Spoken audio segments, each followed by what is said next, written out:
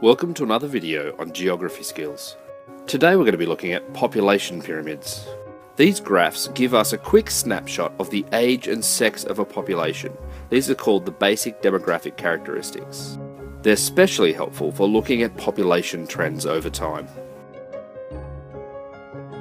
So when we're looking at a population pyramid, we'll see a couple of features. First of all, on the left, we'll see the age going up here in brackets. Underneath, we'll see percentage of population, so 0.8%, 1%, etc. Then we'll see it's split into genders. So on the left, you've got the males, on the right, you've got females. And what this gives us is a broad picture of the demographic makeup of society. How many people are aged 0 to 4 as opposed to 5 to 9? What we're really looking for here are trends. We're looking to see this shape and thinking through, well, what does that tell us about what the population is doing overall in a society? So here we have two examples of different societies that have vastly different population pyramids. Before I continue, I should note here some population pyramids don't have percentage of population, they have the actual population. So this is population in millions here. It actually shows the exact same thing. So it really doesn't matter which one you choose,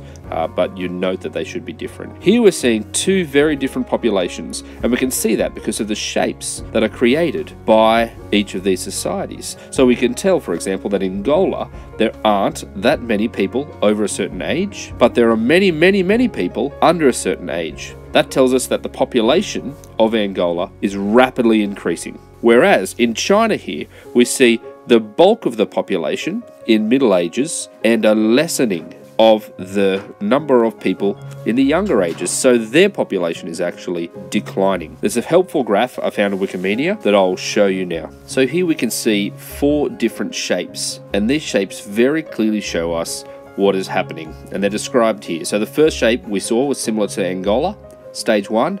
It's a population which is expanding, so you're getting more and more people born, and the population is increasing a fair amount. Secondly, we have stage two, it's much more steady, it's a constant growth. Finally, we have, uh, not finally, stage three, we have stationary.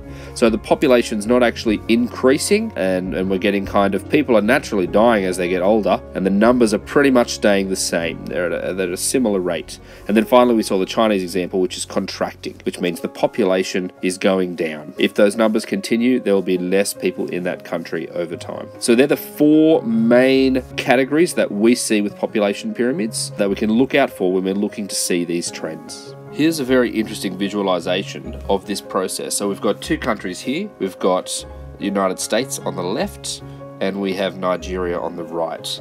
Now watch what happens. This black line is the median line. That's the half the population's above that line and half the population's below it. Have a look what's happening over time with the United States having much more of a population to start with, but Nigeria having that kind of exponential growth that we were discussing. As you can see, they're catching up very quickly the United States to the point where in the future they will take over them. Okay, so that's a clear visualization of this process of different countries having growth that is clearly seen by the trends that we see here in their population pyramids.